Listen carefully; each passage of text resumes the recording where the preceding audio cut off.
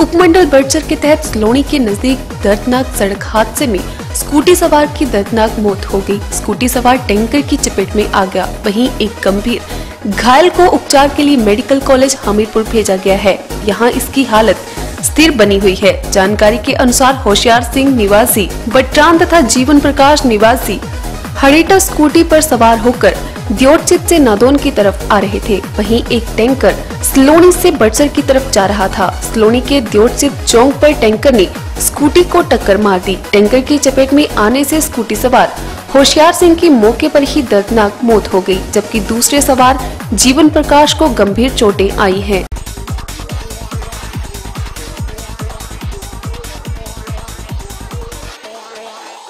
जिसे उपचार के लिए मेडिकल कॉलेज हमीरपुर भेजा गया है।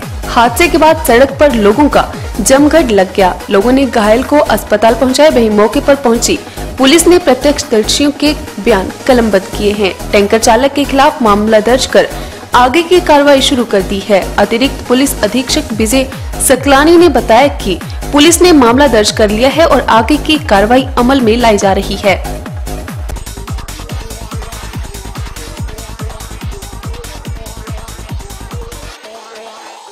मुख्यमंत्री जयराम ठाकुर ने धर्मशाला में आयोजित राज्य स्तरीय अंगीकार अभियान के समापन समारोह की अध्यक्षता की। इस अवसर पर मुख्यमंत्री ने कहा कि इस अभियान का लक्ष्य प्रधानमंत्री आवास योजना के लाभार्थियों को केंद्र सरकार की अन्य योजनाओं जैसे उज्ज्वला और आयुष्मान भारत के अंतर्गत लाना है। जयराम ठाकुर ने इस अभियान का मुख्य उद्देश्य प्रधानमंत्री आवास योजना के लाभार्थियों को उज्ज्वला योजना के तहत गैस कनेक्शन और आयुष्मान भारत के तहत स्वास्थ्य बीमा उपलब्ध करवाना है।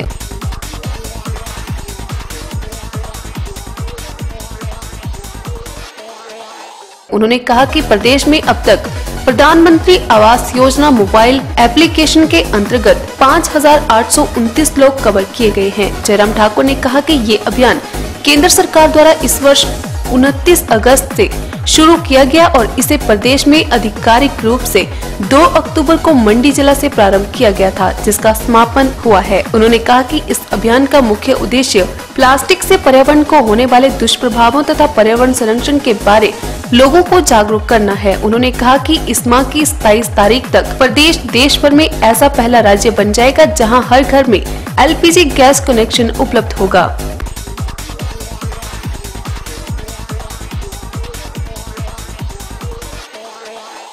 स्वास्थ्य एवं परिवार विभाग में female health worker batch wise posting नहीं भरी जा रही हैं, जबकि प्रदेश में तीन इंस्टीट्यूट है जहाँ ट्रेनिंग करवाई जाती है लेकिन सरकार 22 वर्षों से कोई भी पद नहीं भर रही है जिससे हिम केयर की कई महिलाएँ नौकरी का इंतज़ार करते करते अधिक आयु की हो गई हैं और कई अभी भी इंतज़ार कर रही हैं। वहीं महिलाओं का एक दल मुख्यमंत्री से मिला मुख्यमंत्री ने भी बात को ज़्यादा अहमियत नहीं दी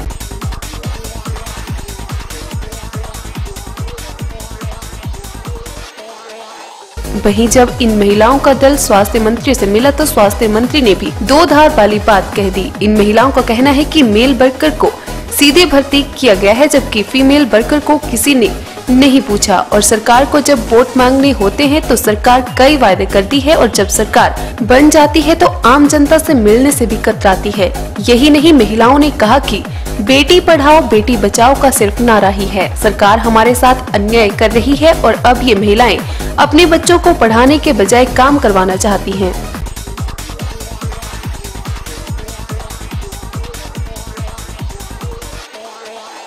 सीएम जयराम ठाकुर ने कहा कि ग्लोबल इन्वेस्टर मीट पर हुए खर्च से अधिक पैसा पूर्व कांग्रेस सरकार ने ऊना के पंडोगा में औद्योगिक क्षेत्र विकसित करने के लिए मिट्टी हटाने के नाम पर ही खर्च कर डाला था।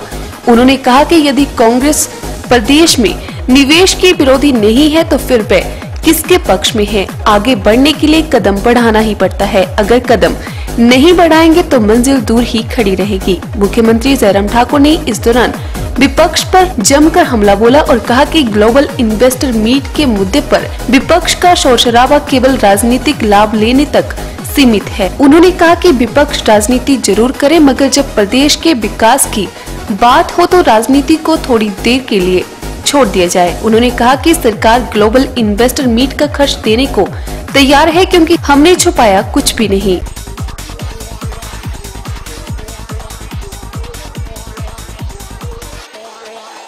नूरपुर के विधायक राकेश पठानिया ने कहा कि इन्वेस्टर मीट के नाम पर पूर्व सरकार के मंत्री 80 लाख रुपए खर्च कर आए, जबकि इन्वेस्टर एक भी नहीं ले पाए। विधानसभा में पठानिया द्वारा उठाए गए सरकार के इन्वेस्टर मीट के मुद्दे को लेकर नेता विपक्ष चर्चा में भी शामिल न होकर भाग रहे हैं।